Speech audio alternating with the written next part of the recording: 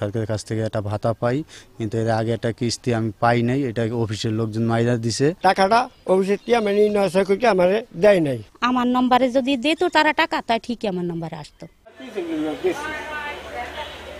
ওয়াজেদ মিধা, মাদারীপুর সদর উপজেলার মোস্তফাপুরের বালিয়া গ্রামের বাসিন্দা। একটি দুর্ঘটনায় কয়েক বছর আগে হারিয়েছেন ডান হাতের বৃদ্ধাঙ্গুলি। এরপর সরকারি ভাতার জন্য আবেদন করলে শুরুতে তার নাম্বারে কয়েক কিস্তি টাকা পেলেও গত জুলাই থেকে সেপ্টেম্বর মাসের ভাতার টাকা মোবাইল ব্যাংকিং নাম্বার পরিবর্তন করে নিয়ে গেছে প্রতারক চক্র। অফিসে বারবার ধর্ণা দিয়েও ফেরত পাননি সরকারি টাকা। এদিকে বড় মেহের গ্রামের বাসিন্দা আফরোজা বেগম চোখে কম দেখেন তিনি আর ছোট ছেলে মেহেদি শারীরিক প্রতিবন্ধী হওয়ায় দুজনেই সরকারি ভাতার আওতায়। তাদের সঙ্গে একইভাবে করা হয়েছে প্রতারণা।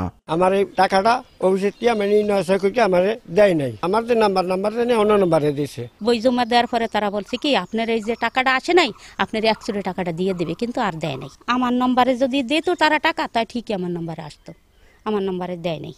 এক, দুই, তিন। ঢাকায় জমি জিতে নিন। একশো পার্সেন্ট ক্যাশব্যাক সহ বিশ কোটি টাকার পুরস্কার। এমন প্রতারণার শিকার সদর উপজেলার অনেক প্রতিবন্ধী। খোঁজ নিয়ে জানা গেছে, উপজেলার সমাজসেবা কর্মকর্তা উজ্জ্বল মুন্সি গত বছরের বারো জুলাই সদর উপজেলায় যোগদান করেন। পরে অফিসের তার আইডি থেকে পরিবর্তন করা হয় কয়েকশো প্রতিবন্ধীর মোবাইল ব্যাংকিং নাম্বার। অভিযোগ উঠেছে, সমাজসেবা কর্মকর্তার ঘনিষ্ঠজনদের নাম্বারে নেওয়া হয়েছে অসহায় মানুষের এই ভাতার টাকা। এই ঘটনায় দোষীদের বিচারের পাশাপাশি প্রতিবন্ধীদের টাকা ফেরতের দাবি জানিয়েছেন ভুক্তভোগী ও এলাকাবাসী। সরকারের কাছ থেকে একটা ভাতা পাই কিন্তু এর আগে একটা কিস্তি আমি পাই নাই এটা অফিসের লোকজন মাইরা দিছে। টাকা তো আমার দরকারই এটা টাকা লয়ে গেছে আর নিচে তো ওই যে ওই লোকেই। এরা গরিব মানুষ অঙ্গহীন এদের টাকা খাওয়া দণ্ডনীয় অপরাধ। এই লোকের টাকা যারা মারিয়ে খাইছে এদের বিচার হওয়া উচিত। সম্প্রতি অভিযুক্ত কর্মকর্তাকে বদলি করা হয়েছে মুন্সীগঞ্জের লোহজং উপজেলায়। তার দাবি সুবিধাভোগীদের আবেদনের প্রেক্ষিতে মোবাইল ব্যাংকিং নাম্বার পরিবর্তন করা হলেও ভাতা আত্মসাৎ করেননি তিনি। চলে আসার পরে মনে করেন হয়তো আমার বিরুদ্ধে কোন একটা স্বার্থান্বেষী মহল তাদের কোনো স্বার্থে আঘাত লাগছে, তারাই হয়তো এই জিনিসগুলো আমার বিরুদ্ধে আর কি করতে কোনো কারণে হয়তো তারাও নাম্বার চেঞ্জ করতে পারে, অথবা এমন হইতে পারে যে নাম্বার চেঞ্জ করার সময় হয়তো একটা ডিজিট টিজিট ভুল হইতে পারে।